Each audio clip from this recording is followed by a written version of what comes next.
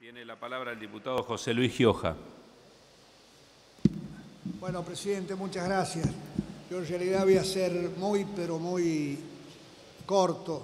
Voy a pedir insertar lo que quiero decir sobre este tema en particular, pero quiero aprovechar la ocasión para explicar un poco lo que votamos esta mañana a primera hora eh, en la resolución sobre el diputado debido.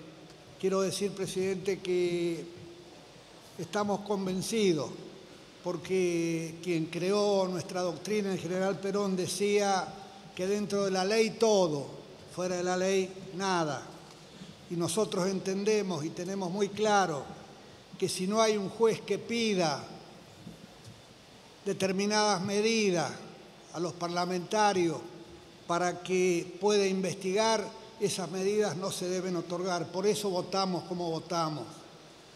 Y quiero decir también que en el caso o en el debate de esta mañana, la pasión tal vez con que se debatió y el ardor que se puso, creo que se, se intentó, porque no se va a manchar, se intentó desacreditar a un hombre que integre este Parlamento, con el cual compartí tareas institucionales, yo como gobernador de mi provincia, él como gobernador de la suya. Y quiero reiterar el reconocimiento y la honorabilidad al diputado Hermes Wiener, que en la mañana de hoy lamentablemente eh, fue agraviado y quiero no soy quien tal vez, pero quiero humildemente reconocer su tarea.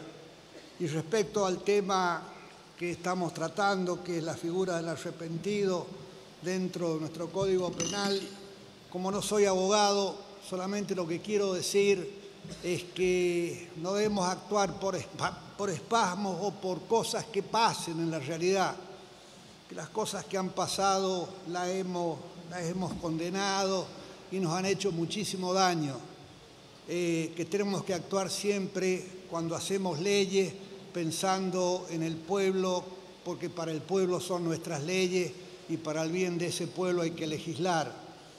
Por eso es que estamos de acuerdo en la figura del arrepentido y por eso, presidente, es que le voy a pedir autorización para eh, agregar, insertar lo que iba a decir respecto a ese tema. Muchas gracias. Gracias, señor diputado.